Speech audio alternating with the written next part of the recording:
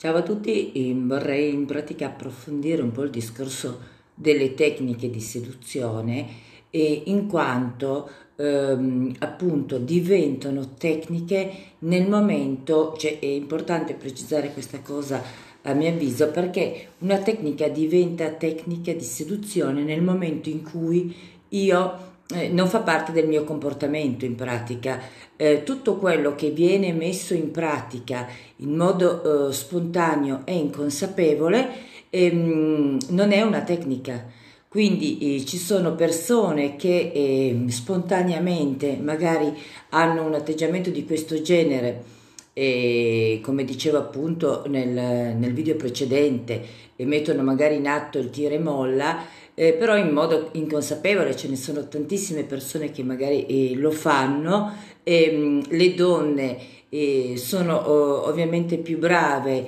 in questa tecnica ma anche eh, diciamo da questo punto di vista potrei dire anche la mia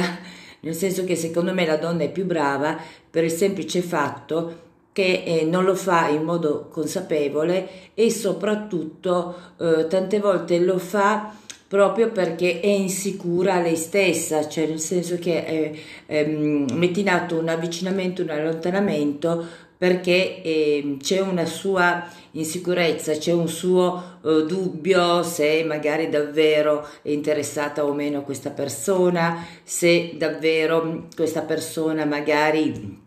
potrebbe in qualche modo fare il caso suo. Eh, quindi mh, le donne eh, mettono in atto questa tecnica quasi sempre in modo inconsapevole. Diversamente eh, invece da parte degli uomini che ehm,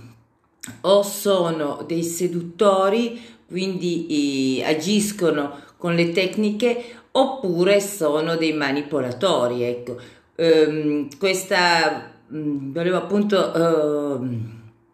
ehm, puntualizzare questa cosa proprio perché eh, viene definita tecnica di seduzione tutto quello che una persona non farebbe e quindi mette in atto un comportamento contrario a quello che in genere eh, farebbe. Con questo video è tutto, un bacio dalla Pink.